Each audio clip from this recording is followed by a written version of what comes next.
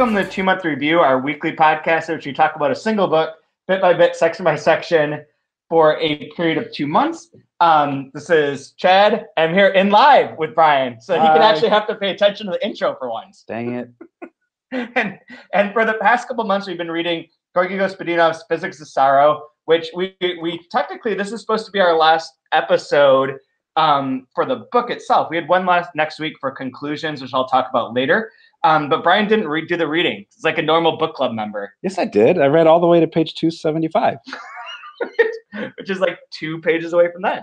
Well, I'll tell you what, with how boring your intros are, I could probably finish by the time you do all the boring stuff. It's probably true. Why don't you introduce our amazing guest today? Our amazing guest is Stiliana uh, Nick. Ah, I'm gonna screw it up. I knew I was gonna do this. Milkova, um, who is from Oberlin College, not university.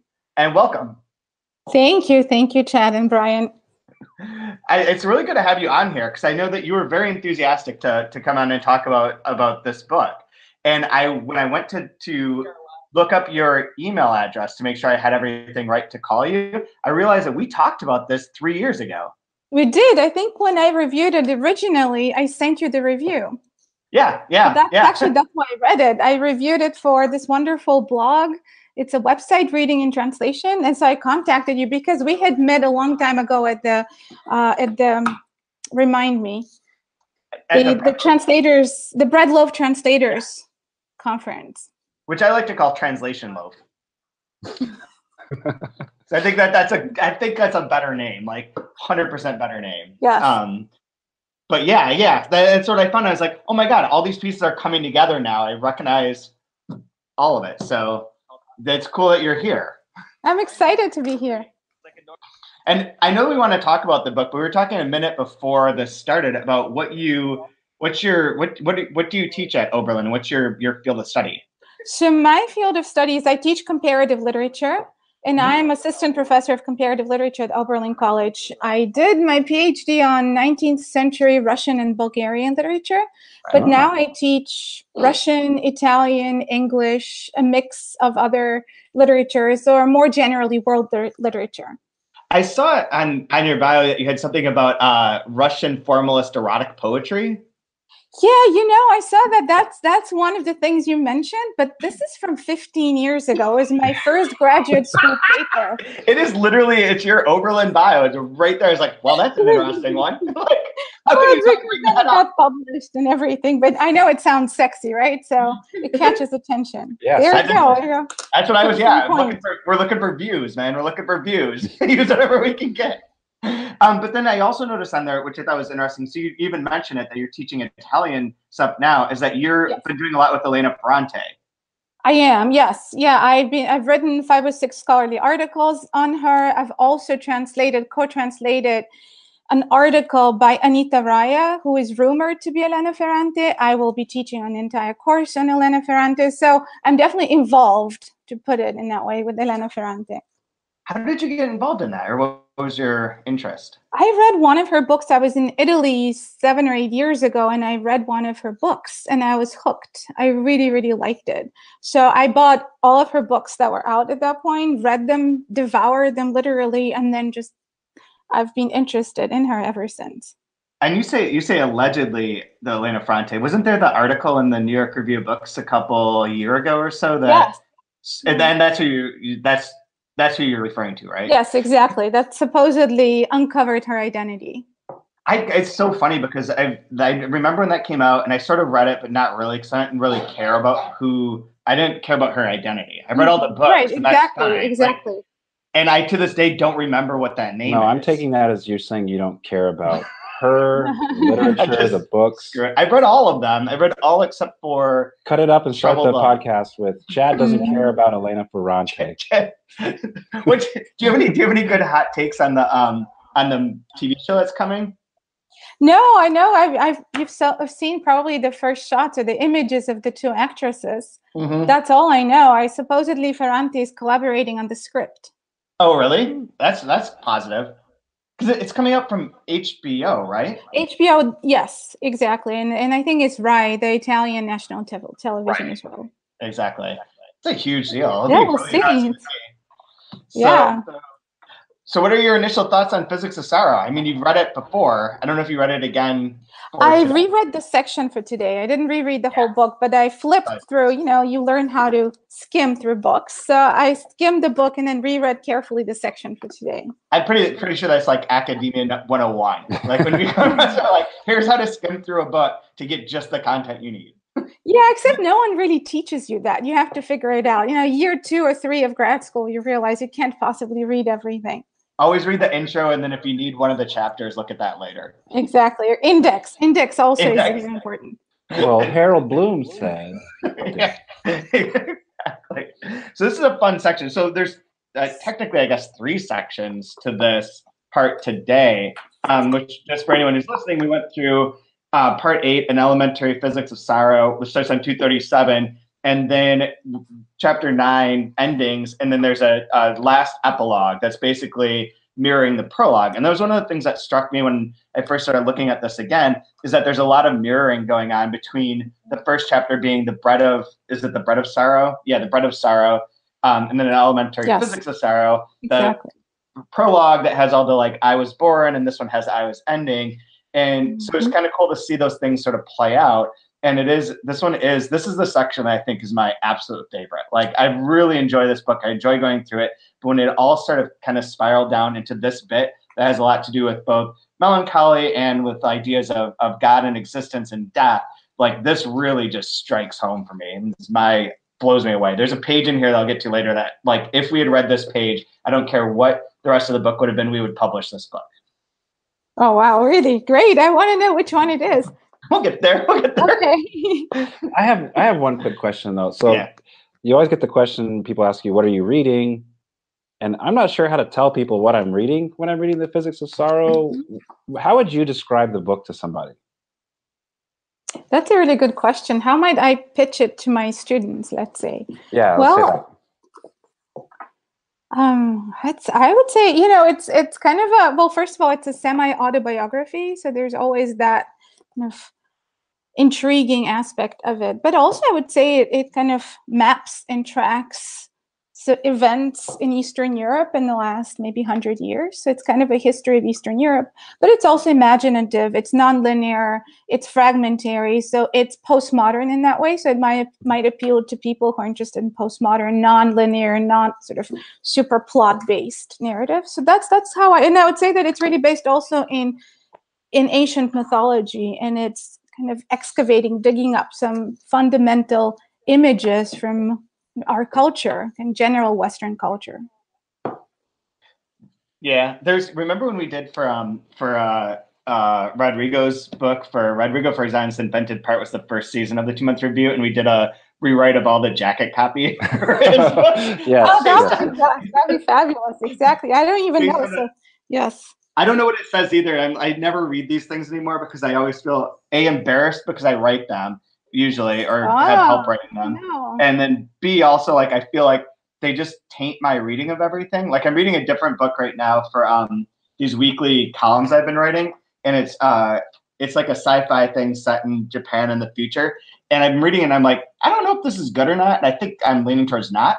And then on the back, I was looked at the back today. It says confused over the name of a character, and it says like a hysterical, like very light and funny novel. It's like none of this is funny, and like I now I have like a whole new problem of like maybe I've just been misreading this entire book and like not getting it. So I always avoid. yeah, you don't like, know who. jacket Yeah, yeah. I don't. You don't necessarily have to trust what the book jacket says.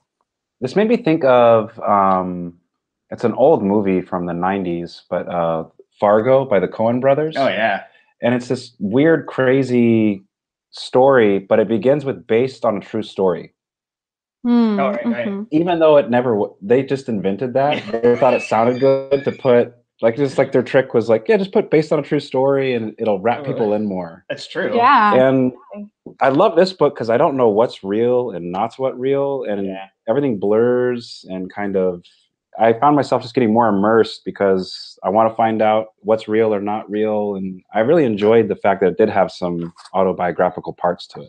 Right. Yes, definitely. The fragmentary nature is what I really like, and I guess that's really now looking at this. That's sort of what we leaned into was just talking about the structure of it that it's not linear that you can get lost on these side side corridors that it's using the, the myth of the minotaur as like a principle organizing it but that it spins out into stories that are both like sad like the one with his fa- grandfather being left at the mill or like funny or whatever Yes.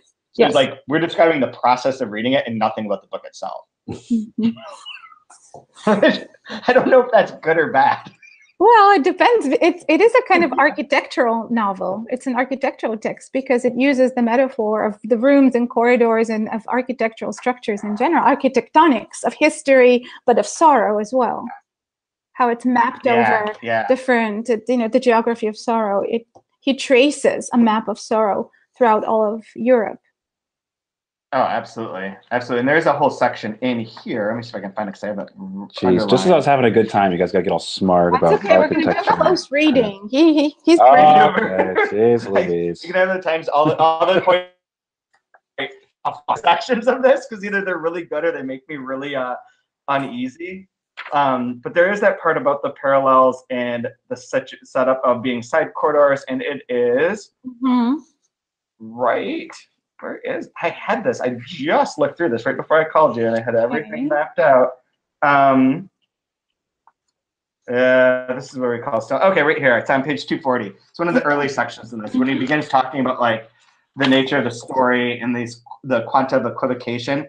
Um, Mhm. there's a paragraph that's alas, the story is linear. You have to get rid of the detours every time, wall up the side corridors. The Mhm. classical narrative is an annulling of all the of the possibilities that rain down on you from all sides. Before you fix its boundaries, the world is full of parallel versions and corridors. All possible outcomes potter about only in hesitation and indecisiveness. And quantum physics, filled with an indeterminacy and uncertainty, has proved this. Mhm. I I when I was in college, I was obsessed with like the idea of quantum physics and string theory and physical physics as like a sort of organizing metaphor almost more so than the actual things. Because as much as I like math, I'm not good at it that that way. Um, only in like the dumb baseball way. Um, but uh, the idea of like quantum physics and what they're sort of being proved or is proven through quantum physics or imagined um, was really captivating to me, and and, in, in especially in terms of even literature. And he references like, has anyone ever developed a quantum physics of literature? And that was sort of like my dream as an undergrad, is to come up with some new scheme of like looking at books in that sort of light of this this inde- indecisiveness and possibilities, and the observer being necessary, and how that alters the way that things are. And I love all that, and that's what this section too, like really immediate was like, I feel really at home You here. really feel short. Yeah. I did. I You failed really in every way. that goal.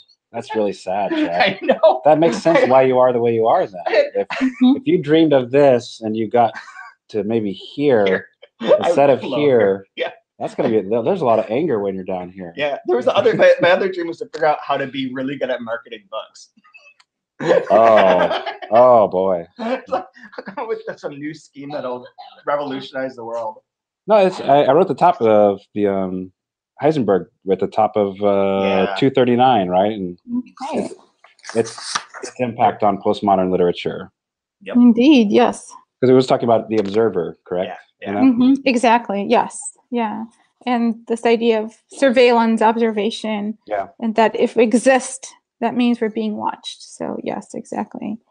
That the very act of observation brings ourselves into being. Which is another reason why I believe that we live in a simulation. Hmm. Oh, not that. What was that? Is that Derrida? The simulacra? Is uh, that- Oh, no, yeah, Baudrillard, you know, oh, yeah, it's all yeah, no, no, no, of those- I just mean literally we are a sim. Oh, We're oh, okay. I don't mean Or the Matrix, you know, another way, Yeah. the Matrix, right? Yeah, the Matrix. Exactly. Like we're just we're just like someone's playing a game and just like moving us around. There are very many times, way too many times. I'm like riding my bike and I see people doing something on the side of the street, and I think human beings wouldn't do that. Like unless you were a computer program, computer program would move like that, would do that thing, and this is why I I believe we're not really here. I have the strangest ways of of connecting with this novel. Uh, like in my um, in my MFA, I was taking a class on creative nonfiction, Mhm. and I wanted a way of, and I'd been doing a, a course on postmodernism as well, so I wanted to do a postmodern nonfiction. Oh, yeah, yeah. And so I, I did one where I traveled back in time and saw myself as an adult in different situ- um, as an adult as, Right back as a child in different situations. Yeah. And the workshop on that piece, I got eviscerated by everybody. Like, you're not allowed to do that because how is this nonfiction if you're time traveling? You can't do that. Like, I'm like, well, what what the hell is memory? Like, what do you mean I can't do this? Yeah. And I loved reading like him doing this. I was like, that's what I wanted to do, and I wasn't allowed to do it. And he's just like, those rules don't And he does it so effortlessly, and I'm on board with it. And it was I, I had such a connection with it. Yeah, absolutely. It's breaking so many rules. Yes. Yeah. In fact, that quote that Chad read on, was it 240? That it describes the very novel, the novel itself. It says, you know, the, it's nonlinear and it's re- refusing to wall up the side corridors and it's Mhm. of blurring boundaries rather than fixing them. So there's that wonderful moment of meta reflexivity. So Yeah, he really part of it. the postmodern poetics of this text, of course. Absolutely, and not to like hammer home that one section too much, but it, it is that paragraph that's really like life affirming or, or book affirming. Is I try to leave space for other versions to happen, cavities in the story, more corridors, voices in rooms, unclosed off stories, as well as secrets that we will not pry into. And there, where the story's sin was not avoided, hopefully uncertainty was with us, which Yes. a great yeah. affirmation of this book as a whole and like his ability to pull this off. Yes. So unless- Absolutely. Unless our hands, this would not work, but you have a whole universe yeah, written in your book. yeah, yeah, yeah. yeah. No, I was uh I wrote that next to the um on page 243 at the says thus I was born on January 1st, 1968, will be able to die again on January 1st, 1968. Mm-hmm. That's what I call complete universal harmony, to die the hour and minute you were born after passing through your whole life twice, from one end to the other and back again. That's- Yeah. Boom. Yeah, what page are you on, Brian? What page are you on? Uh 243. Okay, uh, 243. I went to 253. Okay. The mus- the mescaline I had taken it was wearing off Yes. as I was reading that. So I was in this weird state. Uh, but no, it made me think of the singularity of a big bang, and then they're supposed to say everything's shrinking back and collapses. and collapsed eventually. with into itself. And then if you're looking at if you the, like, basically the entire existence of everything is just uh really just a flash, even though it is an infinite amount of time. It's weird stuff to think, think about. It's like uh that that uh that True Detective line. Time is a circle. time is a flat circle. That's what it is. That's what it is. Now, so I'm bringing my dumb, like, half drunken ideas to this. Like, what what were some of your thoughts on this weird? This is a weird, weird section. I can't make sense of it. This the whole section. Yeah, I mean, just. um, so, what did you think of everything and everything in it? I feel like that guy on uh, Saturday Night Live that questions about. So, how how does this movie compare to every movie ever? yes, indeed. There's Okay, so I have, by the way, I have the Bulgarian edition with me. Just I thought I Oh, that's wow. fantastic. show it. That's Yes, fantastic. I've been doing some comparative reading, What have you- Bulgarian English. Can I ask? but Can I, can I ask you one question for the Bulgarian Yes. to English? yes, Uh, page in the English version is page two forty six, okay, and it has the list. yes. And number five on the list is foot wraps of unbleached calico. Okay, let's see. yeah, you know Yeah, that that is was a little odd. I That is- remember. That is seeing- a. I mean, it has socks. It says socks in parentheses, but I just Yes, love the. because the Bulgarian is called Tenkiot American and in parentheses Churapi. So um, American is a kind of cloth, but Tenki, I have no idea. I think it must be some sort of uh, Okay. footwear or. Yeah, so I don't such a- know, but it's definitely an antiquated word. Yeah, it was, and it the was one whole those neat- list looks, and if it looks like it's been reproduced almost exactly from a photograph or. Right. Yeah. Yeah, I yeah. like I remember seeing that because we we I don't know if we had the copy of the book per se, but we probably had like the PDF to like to check the layout on stuff. Mhm, which Yes. We try and do.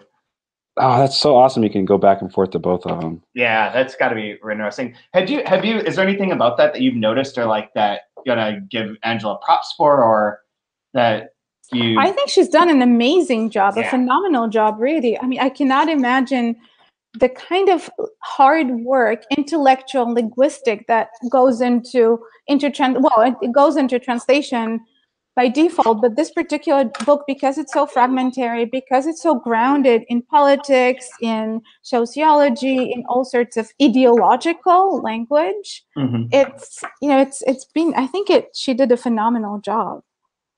Yeah, I totally agree. I think I mean Jay, she's got there's so much trust when you start reading one of her translations where you know she knows what she's doing, she's thought about it. There are difficulties with every book and things that you can quibble over eventually and whatever, but like she she instills such uh, such an amount of uh of trust and belief in what she's doing and you feel her ability to write this and to render it and to understand what's going on and to make it work in English in a way that's like just as evocative as as probably the original.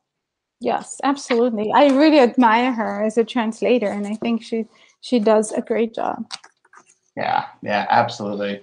There was so I want to go back for one second that section you were talking about, Brian, the living forward and then back. And this is um this is for people who are are longtime listeners. Which hold on before going forward and back. The title of my essay was "Adventures in Space Time," Oh, nice, nice. and so I got completely eviscerated. Look, I, I was on top of this shit, it. man. This was 2011. I had it, and I got told, "No, you can't do it." Fuck them, dude. Fuck that.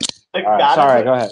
the goddess of boson part and the part where he writes um a while back under one of my pen names, I published a novel based on the atomism of uh, Leucippus of Miletus and the Democritus of Abdera. I screwed it up. Yeah, was that was that Whatever. real? This I don't know. I couldn't find it. But- Okay. But, like, but this is this is basically Fresán's book.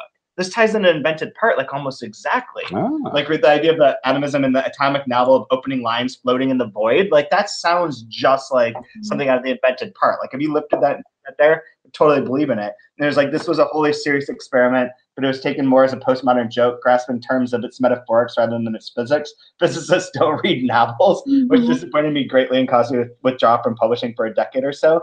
And that, that sounds exactly like you could you could see that paragraph in in the invented part, and it would make sense still, yeah, I could see that. or like a variation on it. But So I have a I have a question for you. If you were going to if you're going to teach this book, and I don't know what the course would be called or whatever, but what would you want your your students to get out of a book like this? How would you how would you approach it with them? You know, I'd probably have to teach them quite a bit about Eastern European history, 20th century Eastern European history, even, you know, some more recent European history and Eastern European history in particular. A little bit about mythology. You'd be surprised, or maybe you already know that American students, undergraduates, don't have a foundation in Western literature and the classics of Okay. Western literature. So I'd probably have to teach them a little bit about mythology and ancient Greek mythology, but also no, there are recurring themes. But in particular, would you focus on like late socialism or or just the general like this is where Bulgaria is on a map? Like would it? be- Yeah, I'd probably start there. Absolutely. Yeah. Yeah. When Yeah. people ask me where I'm from and I say Bulgaria, they're not always sure where that is. So I have to Okay. specify, well, it's in Eastern Europe. Well, where's that? So, like Germany. yeah, yeah exactly. you uh. know. oh man, No, you know, I don't know how I would teach it. Believe it or not, I might teach it in a course on, and if that studies mythology in contemporary, modern, and contemporary literature, because it's so it's structured around the Minotaur and and this foundational myth of the Minotaur is kind of the thread that Mhm. runs through the entire text. Right? It gives it structure. It gives it the narrative. It gives it the imagery, and then all of these the various the kind of versions of, of the Minotaur from the cow to the to you know the gas mask to the little boy to Theseus to the way that the narrator and conflate is conflated with the Minotaur and so it's so I think I might I might teach this in a course on mythology in modern Yeah, and contemporary I just- literature. I was just asking selfishly because I'm I'm doing some teaching and writing, not necessarily with reading of text, but I always look at things of how would I use this as a teaching tool, and mm-hmm. this just seems so challenging because there's, like you said, so many different parts and echoes, and I mean, pick your poison on this, and you can. Yes, because there's there's and it many is ways that long. You know, it is long for undergraduates to read. Honestly, Dude, my under don't say things like that. I think my undergraduates listen to this, and that's bullshit. You're supposed to read 500 page books every week, and they should never complain again. Like, because that's how it is, right?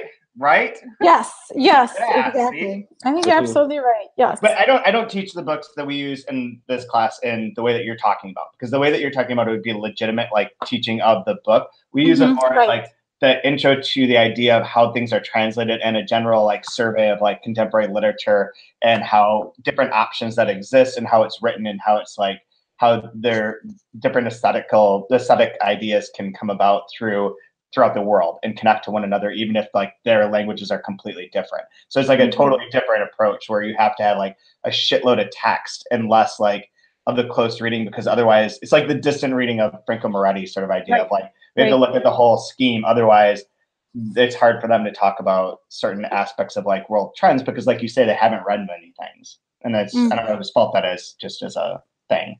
Yes, yes, yeah, no, for sure. I mean, I did teach excerpts of another Bulgarian, foundational Bulgarian text, actually, late 19th century text by Ganyo. I did teach in my literary translation workshop, nice and we only read a couple of chapters, but that's fundamentally how do you translate a text that's so, well, remote in time, but also culturally specific? Do you put footnotes? Do you gloss? What do you do? And so, definitely, I mean, I can see how you can teach this text in a translation course. Right, right, right. Exactly. Yeah. I'm just trying to defend my my my forcing students to read like so much, so much. There is no defense for that. because there are, no, there are very good 50,000 word texts that you could be choosing, they weren't published Um, last year. and that's a wonderful form. How many how many words were uh, Fever Dream? Like, hey, I think That was maybe 25,000 words. You could have given Fever Dream, he would have loved you. I, I will withhold my my snarky comment. Um, no, so I have a question. What do you? Okay, we could jump ahead. There's I there's a parts of this that like I like talking about the time thing, and I need to talk about my favorite page at some point. Yes. But you mentioned the idea of the Minotaur sort of merging with him, um, and that idea. What do you make of this? The ending exactly, like especially on page two seventy six and seventy seven, where uh, it says like a short, short double-edged sword is found in all likelihood an Mhm. unusually valuable object from antiquity. And then there's like I felt the strange sort of excitement. I had a complicated relationship with that writer without having known him. I had always felt personally robbed while reading him. And before that, there's a bit where he's like in the basement talking about how Mhm. someone's going to kill him.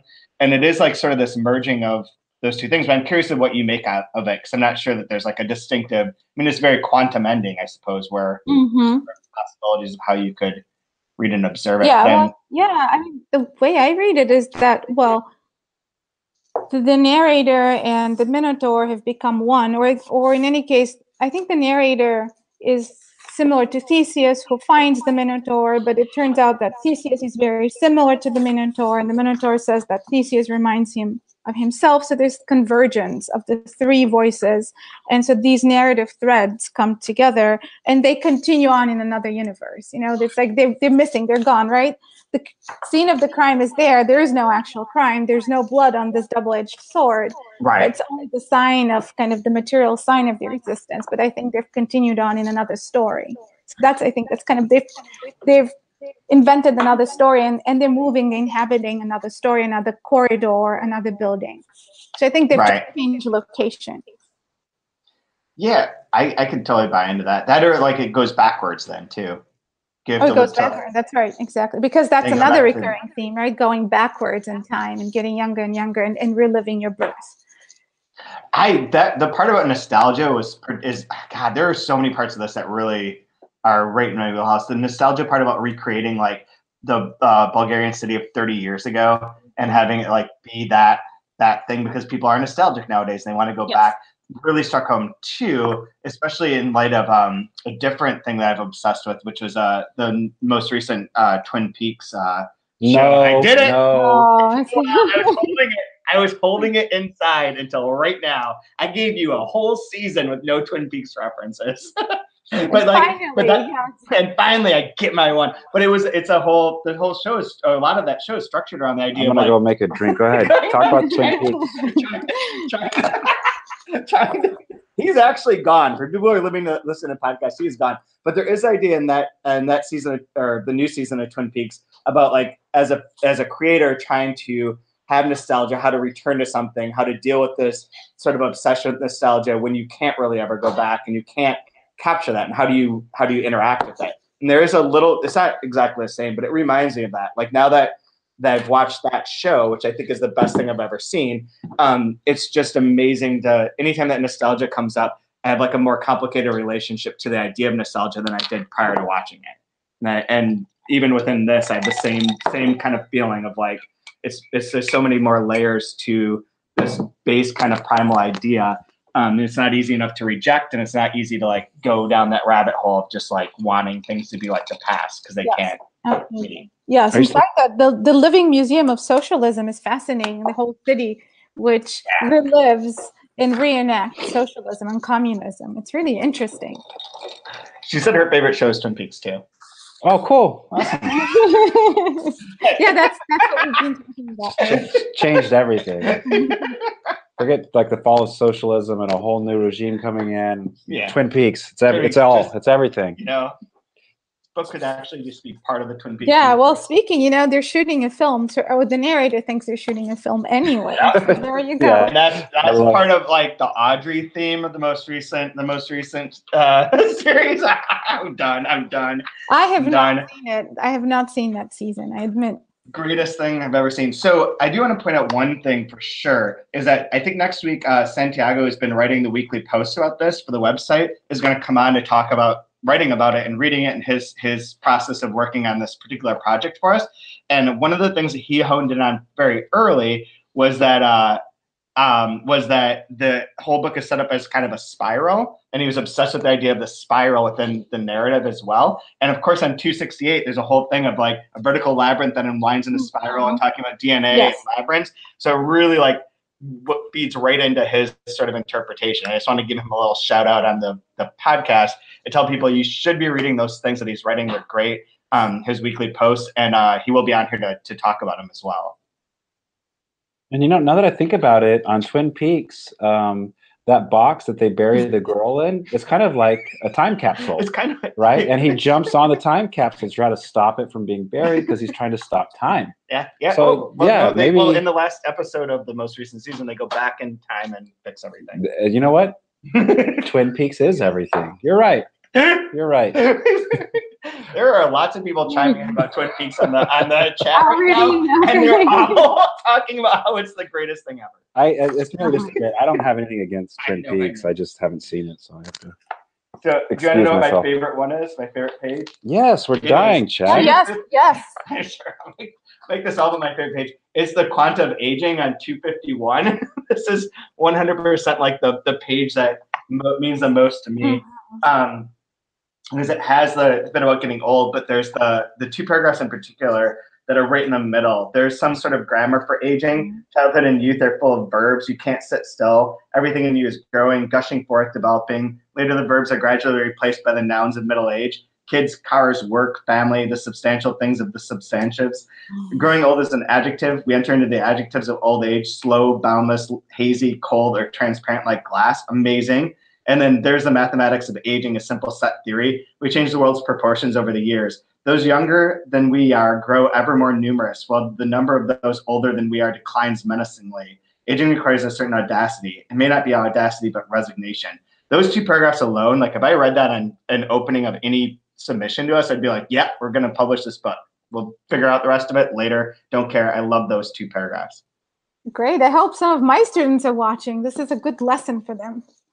now they know what to what to foreground. Yes, Talk- you know, if you're talking to a middle-aged white male who's an editor, talk about getting old and and, and, and feeling like you're gonna die. That'll really feel good to them. And have an interesting failing marriage in your mm-hmm. plot. yes. Can't lose. Make sure it feels like they're like bound by the scriptures of time and mm-hmm. society. yes, mixing literature and science, right? That's Yeah, quantum physics and liter- literature. It's a good combination. I think that's a good. I think that's a fun way of talking about. Because I mean, it's, there's there's only so much, so many ways that you can talk about getting old and like the process of that and the feelings. But this idea of using grammar in that way, I hadn't seen before, and I really like that. Mm. Like Yes. that, no. there is that sort of. It sort of makes sense, even if it's it obviously it's sort of making that up, but it still works really well for me. Yes, no, for sure. And it's something that you can really relate to, regardless of, of what culture you come from. Oh yeah, yeah. So I think it's very universal. Yeah, absolutely.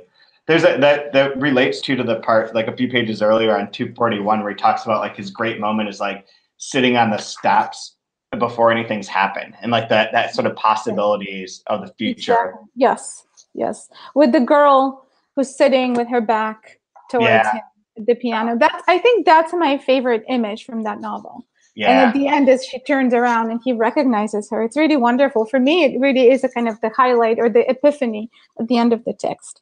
it's so good It is. It's really good. Okay, here we go. Conti. Yeah. is that similar and yeah how does that how does that work in, in bulgarian is it verbs adjectives nouns it probably is right Yeah, absolutely. It is the same. Yes.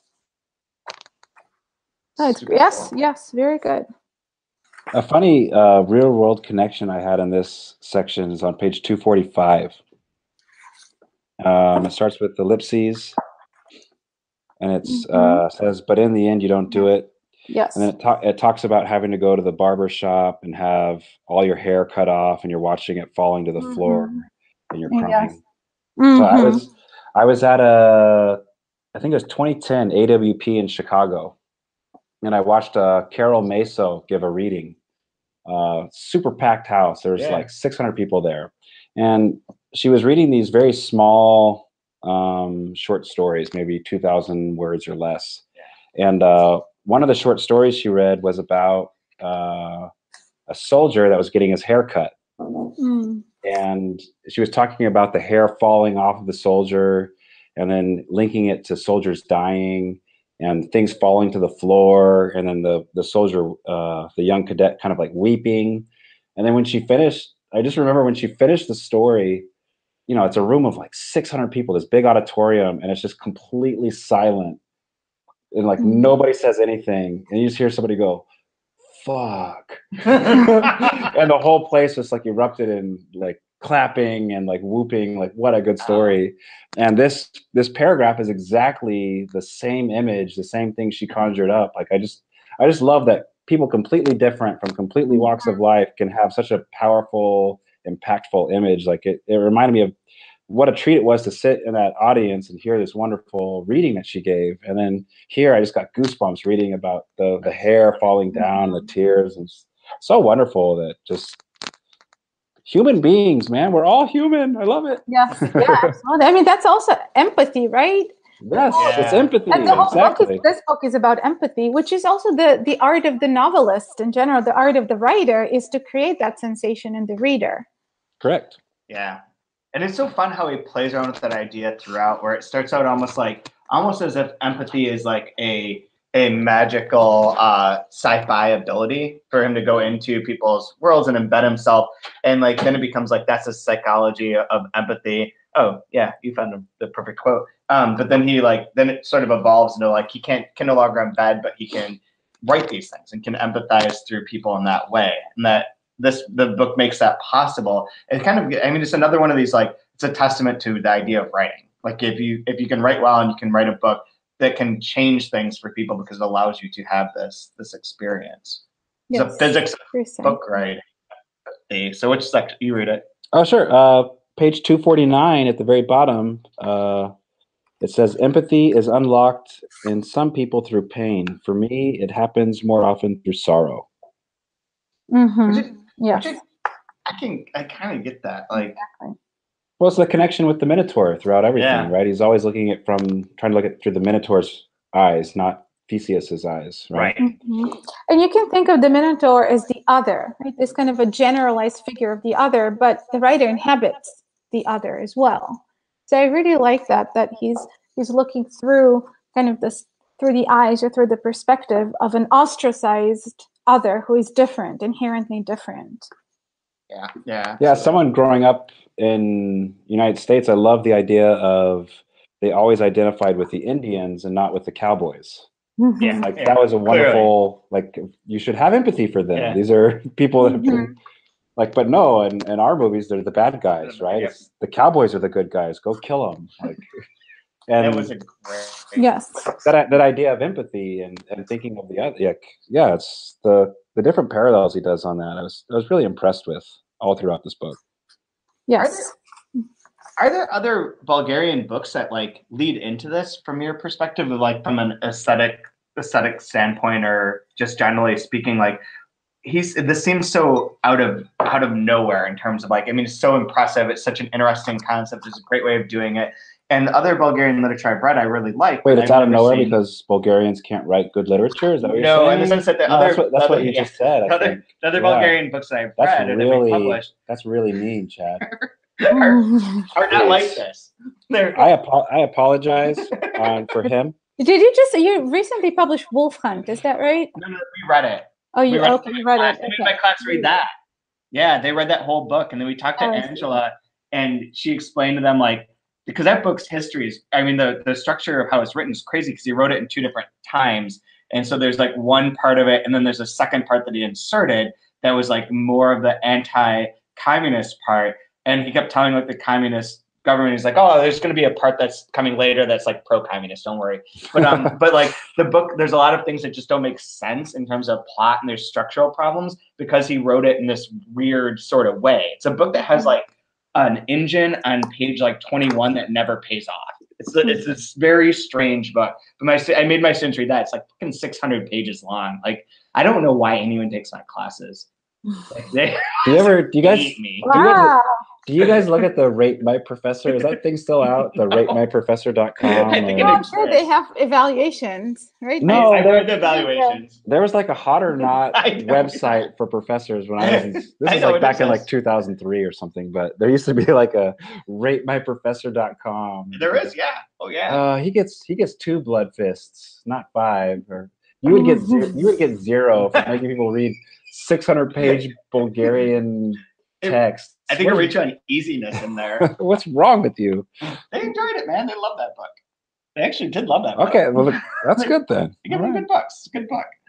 But was there is there yeah, is there anything else that like like So I'm going to admit some of my own ignorance. I haven't really kept up. I wish I had kept up with contemporary Bulgarian literature, but Yeah. I, you know, read once in a while something recommended. So I read this book because it was such a sensation in Bulgaria and was very popular. But I don't know where it's coming from in terms of contemporary influences, but I think some parts of it evoke some older Bulgarian narratives, early 20th century. Um, Mhm. I would say Jordan Yovkov is one of the authors I thought of. He writes, he's primarily famous for his short stories, which track kind of the Bulgarian 19th century past in this semi mythological, semi folklore way, but really beautifully written. But have the have they have these settings in small towns or villages, and he's pretty well known in Bulgaria. So I detect some of that in his in Gospodinov's writing, but I'm not I'm not sure what I mean other than the Western European, right? You can think of Right. a number of Western European influences, but I'm not sure what particularly Bulgarian literary kind of impact I can detect here, other than early 20th century, some of the classics, the Bulgarian classics. And it's kind of cool to think of it not being uh, necessarily influenced by other Bulgarian authors, but like from Western European traditions and bringing that into Bulgarian, importing that and, and transforming it as he's as he's writing it.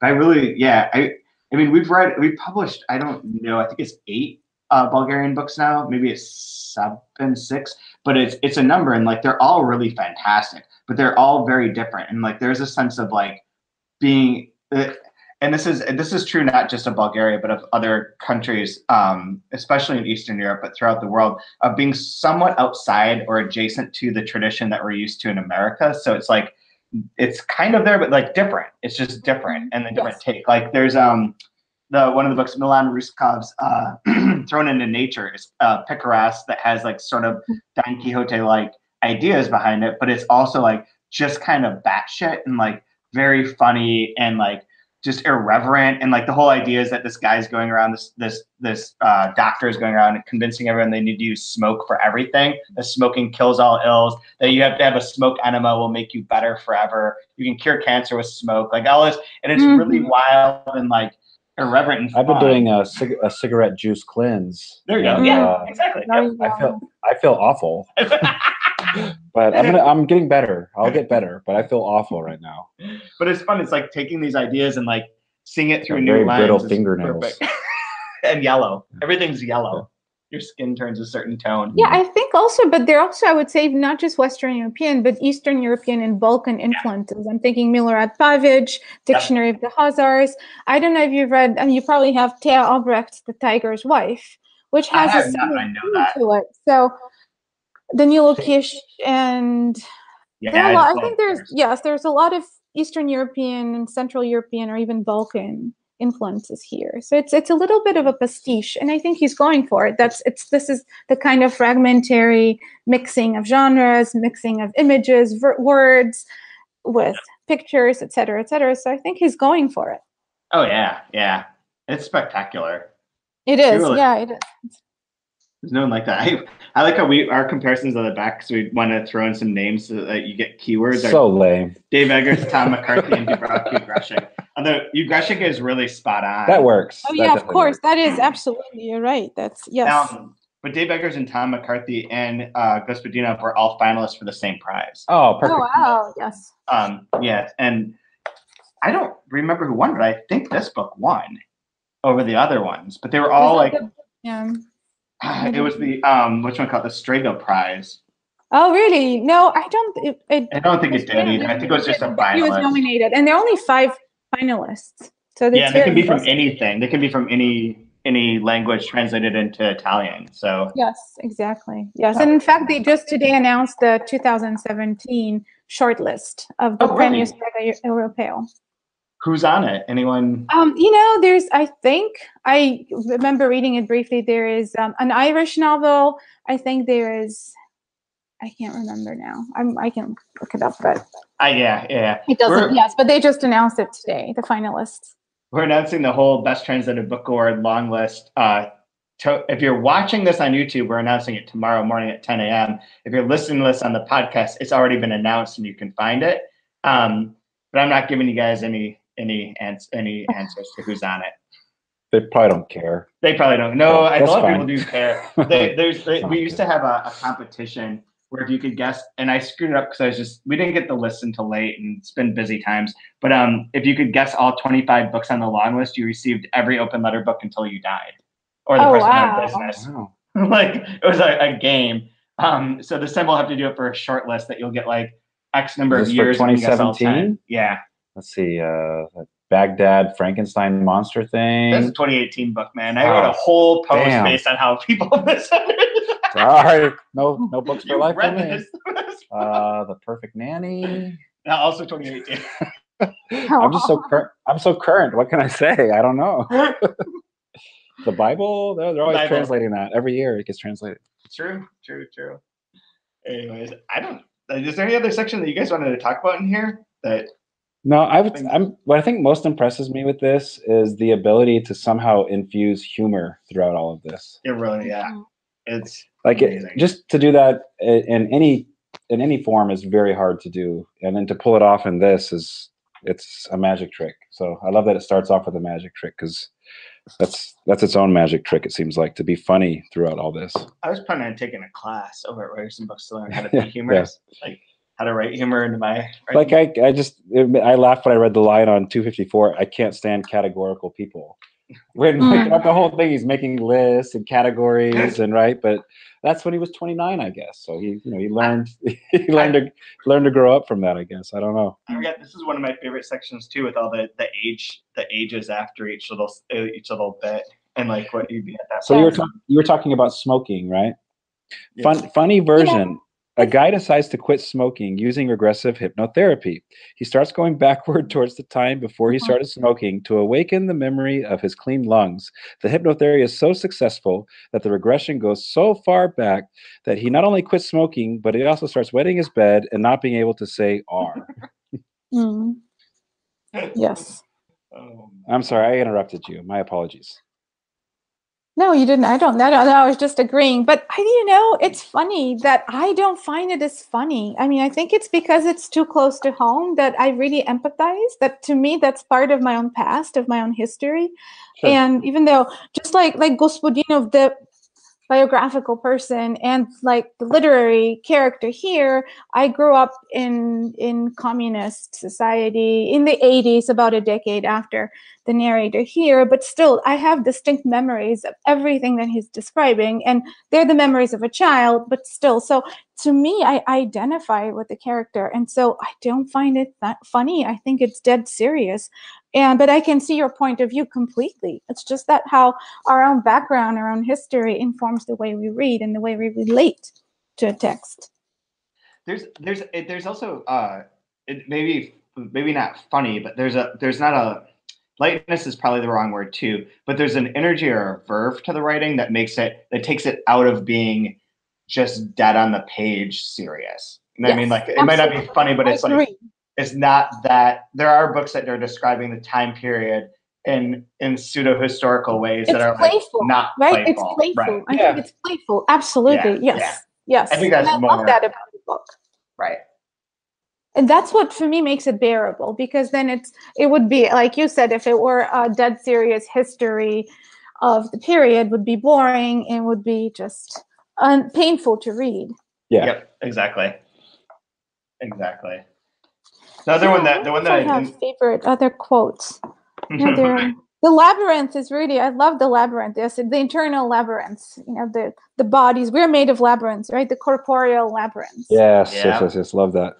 The, the part with the cardiac exam was the part where I was just like, oh no, that's a little close to home. I'm gonna, gonna, gonna make me uncomfortable. oh And then immediately after, it's describing like uh, not being able to hear out of the ear, and I was like, ah, ah, what are you? Why are you doing this to me? My favorite part about the, the labyrinth of the guts and stuff. Uh, my wife does surgery, and I asked her like, "How do you guys know how to put people's insides back in?" And she's like, "Oh, it's easy. You just put them back in. They know where to go." Like, like, Pre-folded like a map. no, because like I always thought like you know like the intestines. Like, are you, how do you? Is there like a arrange them right like how do you like? No, just put them in, and they'll go where they go. They Fair know. enough. They know where to go. Fair enough. Yeah. I, there's one moment, wonderful cultural moment, and moment on page 270, top of 270, where he talks about the food, the sweets, the pastries, baniti, burek, seradias, all the winding phyllo dough sweets of the Orient. And that in particular is kind of a, a very vibrant image to me because I can picture the winding in banita, which is the phyllo dough pie, and then the other, the kind of the sweets, sweet and savory Oh, yeah. food. Bulgarian, but also Mediterranean. It's it's again. I mean, I had never thought of it as a labyrinth, but even when you look at it, when you cut it, it looks like a labyrinth. It's, it has walls and corridors, and and you can get lost in it, like just trying to Yeah. to fish out the cheese. And so it's that's a really beautiful image to me. And are the sweets sweetened with with honey? I assume because it goes straight to bees from there. No, well, the, maybe maybe the uh, it, he doesn't say baklava. Baklava is traditionally made with Sure. Honey Yeah. in Bulgaria. So no, but saradia I think could be made with maybe with honey, sugar. But that's a good point. Absolutely. Then he goes to beets. Yeah, I hate reading stuff that's written by somebody that's smart because you got to really kind of consider everything and where it's arranged. the the. You know, I had this, so I was curious. I admit there here's a teaching moment. So I was really curious whether it's Angela glossing the three words in in italics because these are such Bulgarian concepts. So I was wondering if the following line were a stealth gloss on her part, and in fact, and it's not. It's in there in the Bulgarian that he modifies, he qualifies, and so it's really it could have been a stealth gloss, but it's not. That's interesting. Yeah, because it would it would seem like it could go either way. You're right. Yes, exactly. Because otherwise, you don't know what these words are. They're foreign words, they're foreign concepts, but nothing else. Without the following line, you wouldn't know what they are. Yeah. That's very true.